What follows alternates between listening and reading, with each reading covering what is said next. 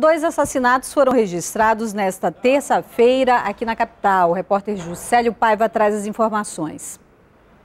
Uma das mortes ocorreu no ramal do Brasileirinho, na zona leste aqui da capital, e vitimou o confeiteiro Wilson Santos Viana, que tinha 25 anos. Segundo informações da Polícia Civil, a vítima também trabalhava como mototaxista e ontem à noite havia pego uma mulher na área da zona leste de Manaus e horas depois já foi encontrado morto lá no ramal do Brasileirinho. Um outro assassinato ocorreu na região da Glória, na zona sul de Manaus, e vitimou um homem de 39 anos, Anildo Ferreira de Azevedo Azevedo. Ele foi executado com quatro tiros na cabeça enquanto participava de um bloco de carnaval lá na área da Glória. A delegacia especializada em homicídios e sequestros investiga o assassinato e a suspeita preliminar é que o crime tenha ocorrido motivado pelo tráfico de drogas naquela área, porque segundo a polícia, o Anildo ele era envolvido com a venda de drogas aqui na capital. Eu volto com você. Obrigada, Juscelio. E mais um corpo foi encontrado esquartejado no Cidade de Deus, na zona leste de Manaus, próximo a uma escola. É o segundo caso em menos de uma semana. A repórter Priscila Gama traz os detalhes.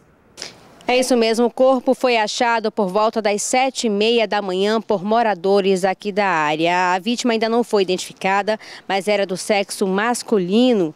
O homem teve o braço direito cortado, a cabeça decapitada e ele estava armazenado em um saco de fibra.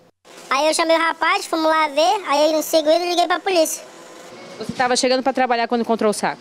Positivo, chegando no trabalho. Aí nós encontramos, Aí foi o que aconteceu. Aí começou a chegar a multidão, aí a polícia chegou. Foi isso. Você reconheceu a pessoa é daqui da área? Não, não. Ele tava sem cabeça, tinha marca de bala na cabeça, furada de faca também. Tava bem machucado. Dentro de um saco de fibra? Um saco de fibra. A metade do corpo coberto em outro saco, por cima dos braços. Segundo a Delegacia de Homicídios e Sequestros, o corpo deve ter sido deixado entre a noite e madrugada. As câmeras de segurança aqui da área devem também ajudar na investigação deste caso. Eu volto com você no estúdio. Os bancos e o comércio voltaram a funcionar hoje depois do feriado prolongado de carnaval. Nas agências, o movimento foi bem tranquilo. Já o famoso bate-palma ficou lotado. Na frente das agências, nem fila tinha. Hoje tá tranquilo. Surpreendeu?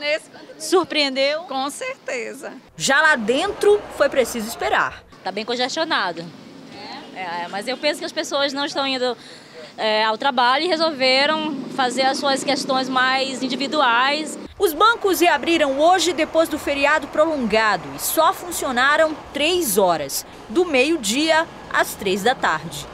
Contas de água, energia e telefone que venceram na segunda e na terça puderam ser pagas sem juros hoje. Na maioria das agências, o movimento foi fraco.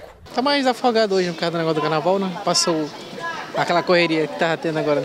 Nas loterias, tinha fila sim, e gente debaixo de sol mas vale o sacrifício para fazer aquela fezinha, né? A Mega Sena está acumulada em 71 milhões de reais. Já pensou, hein? O Gil ficou de fora do bolão, porque voltou ao trabalho e nem teve tempo de jogar. Isso, baixo liquidação é aqui, ó. O esforço dele, debaixo de sol, é para atrair a clientela. Tem que ser boca a boca mesmo aqui. Senão a gente não ganha cliente. Clientes não faltaram hoje no centro comercial. Mal as lojas abriram e o comércio popular da Marechal Deodoro já estava lotado. Faltou comprar o, a roupa da minha filha de para ir para aula amanhã, né? Vai começar a aula dela amanhã, então aproveitei. Devido à correria, só deu para vir hoje, né? Mas a dona Raimunda, vendedora experiente, não se ilude. Nem viu isso se reverter em venda. Muita gente, mas poucos estão comprando muita gente mais passa do que para, né? É, é verdade. Quem foi ao centro da capital hoje estava de folga do trabalho. É o caso da Tânia. Eu aproveitei, né, porque eu sou industriária, né, e hoje é meu dia de folga, e eu aproveitei para vir, né. As lojas da Avenida Eduardo Ribeiro também abriram na tarde desta quarta-feira. No próximo bloco, a Igreja Católica abre campanha da fraternidade na Igreja da Matriz. E nossos repórteres mostram a luta de uma karateca amazonense em busca de uma vaga na seleção brasileira, depois do intervalo.